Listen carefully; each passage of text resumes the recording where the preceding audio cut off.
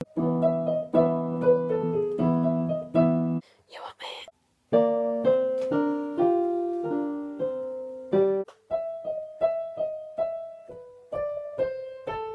Swan. Shout out to Gareth Gate.